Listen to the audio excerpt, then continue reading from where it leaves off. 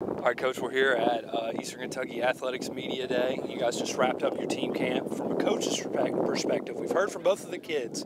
From a coach's standpoint, uh, how did team camp go for you all overall as a team?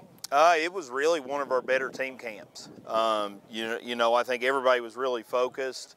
Uh, you know, uh, they're, they're going to have fun. You know, they're all staying in a gym. It's like a big week-long sleepover for them. Uh, but when it was time to either watch film or practice or walk through, uh, you know, it was all business and uh, felt like we got a lot better.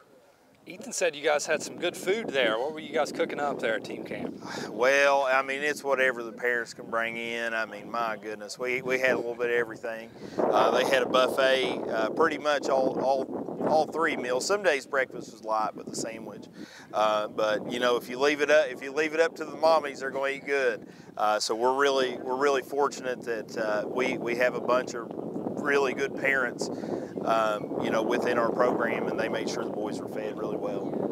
You've really set the standard there at West Carter. I know you guys had a rough year this or last this past year, but how do you guys sort of bounce back from that, moving into a new district?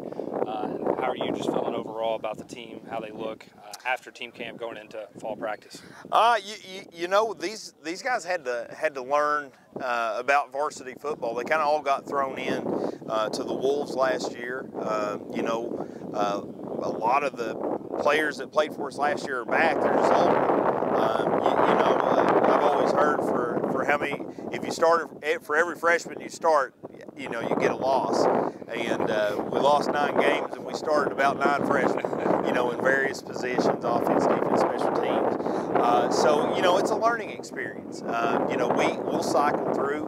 Uh, we're one of the smallest schools in the area that have football. Um, so, you know, there's going to be years where we're young. Uh, but these, these kids have embraced it. I think I think they knew, um, you, you, know, as the season went on, that, that, we were getting better, even if you couldn't always see it in the win column.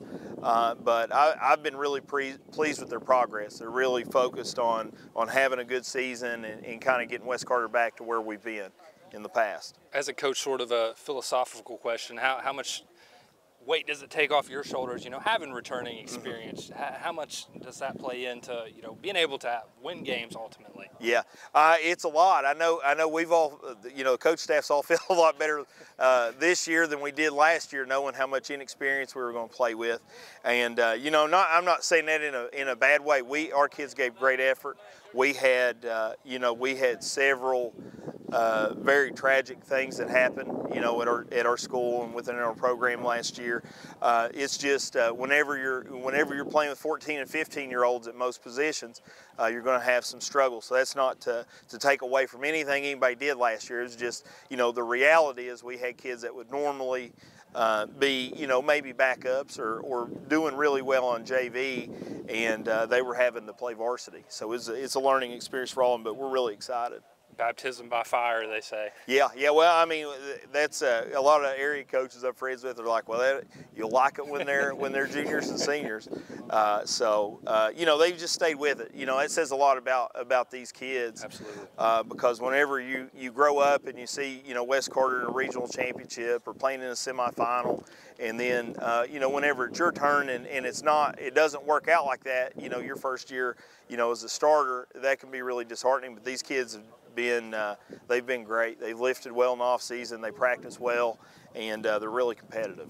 New district for you guys uh, coming up. So what can you tell us about that? I know you've been hard at work preparing for the season. So yeah. what can you tell us about your opponents in the new district? Yeah, uh, well, you know, the majority of them we were going to play anyway. Um, you, you know, uh, East, the way we look at it, our long-term rivals at West have always been East Carter and Lewis County and Fleming County.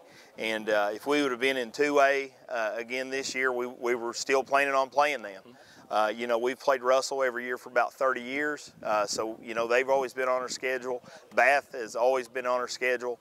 Uh, so as far as you know, district play, you know, you know we're playing for stakes now, uh, but we are used to playing these teams. Uh, you know, our, our non-district is where we're we're not hardly playing anybody that we've played you know recently. We've got Rowan County, which is a close game for us, uh, but then we we travel a little bit, and some teams travel to us biggest key to success for the Comets this year? What is it, Coach? Uh, I, I, think it's continuing to uh, to, to, build, uh, you know, that sense of brotherhood and, and, and, and being a team. and uh, these guys have really, really embraced that. You know, uh, you, you, know they're they're kids, and, and, whenever you have a bunch of them together, there's always somebody, you know. Somebody that run their mouth or whatever, that's what we tell them. We said, listen, you guys are going to get on each other's nerves, uh, but you you have to have each other's back.